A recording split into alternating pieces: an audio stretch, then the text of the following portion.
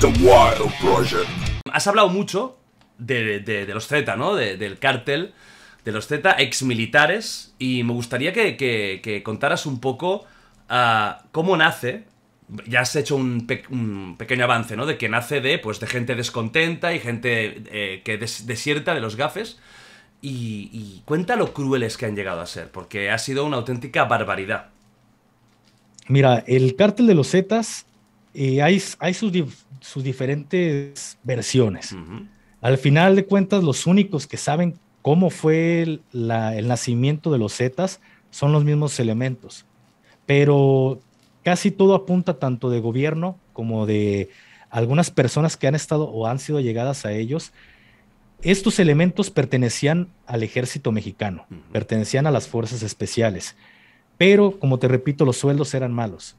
Entonces llega eh, una persona, un líder de un cártel, que era el Golfo, llega este, este personaje que era Guillén, y contrata un elemento o contrata varios elementos de fuerzas especiales como su escolta este, personal.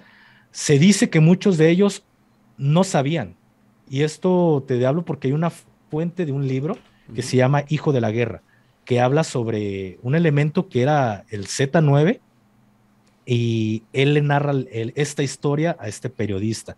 Entonces en México cuando el río suena es porque agua lleva. Y si de verdad no lo fuera, para mí, si el libro no fuera o no tuviera algo de cierto, ya alguien de, de aquel cártel de los Zetas ya, la hubiera, ya hubiera hecho un problema por esto. Hasta el periodista ya lo hubieran desaparecido. Pero si algo de cierto tiene el libro, por eso no se le ha molestado a, Claro. al autor.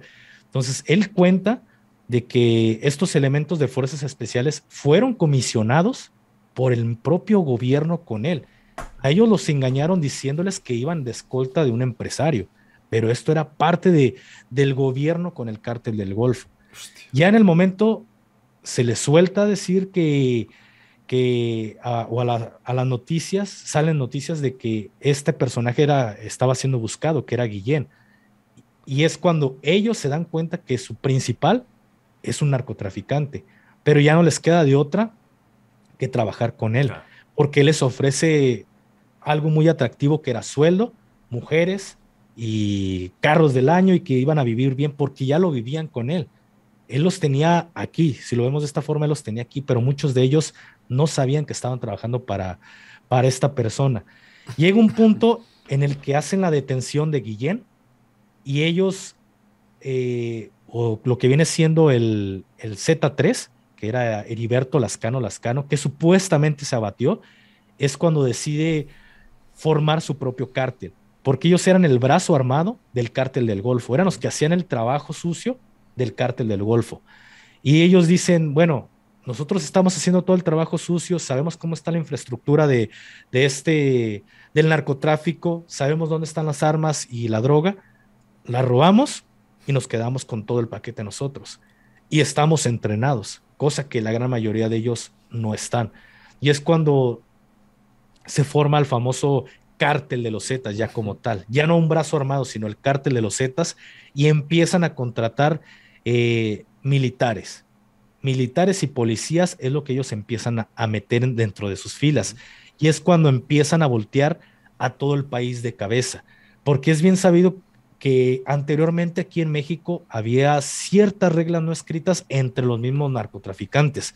Este es mi territorio, este es mi pedacito, yo no me meto en el tuyo, tú no te metas en el mío y cada quien trabaja a gusto. Claro. Pero México ya estaba repartido, no había espacio para los Zetas. Entonces ellos querían un, un pedazo del país y terminaron comiéndose casi todo el país. Wow.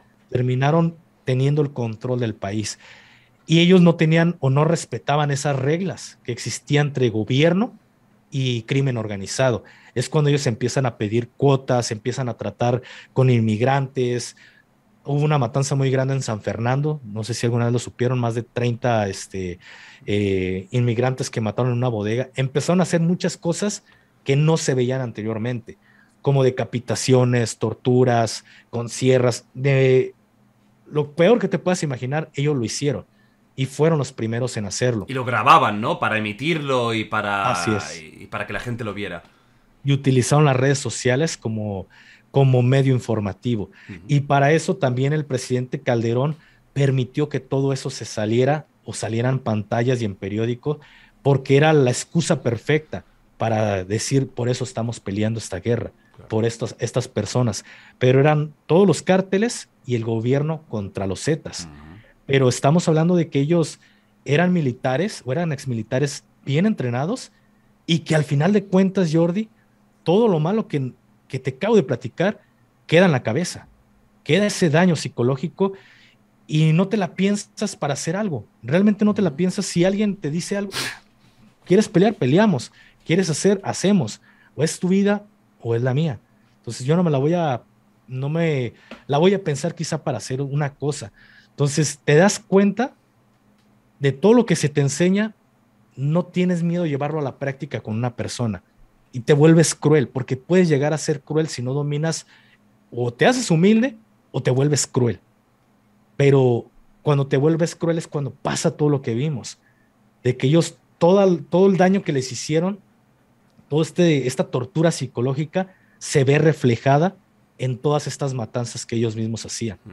Entonces, para mí, eh, el cártel de los Zetas, y no nada más para mí, creo que para todo el país, eh, vino a cambiar el narcotráfico en México. Y al final, eh, casi toda la cúpula cayó, ¿verdad? O sea, fue asesinada o capturada y es lo que tú comentaste, que se escindieron en varios grupos más pequeños que siguen por ahí, pero ya no es como tal, ¿no? El cártel de los Zetas con esa importancia que tenían.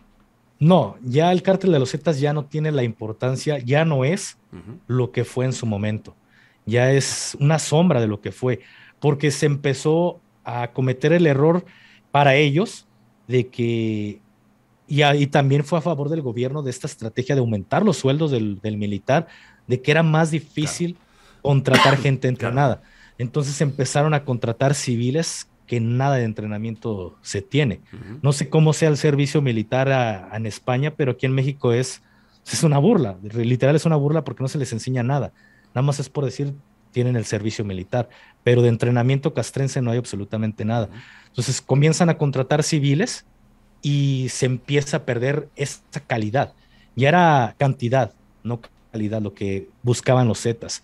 Por eso es que empiezan a perder tanto el respeto como el control de las plazas y empiezan a surgir nuevos cárteles que se empiezan a hacer más fuertes y aparte el gobierno pues liquidó a la gran mayoría de sus jefes.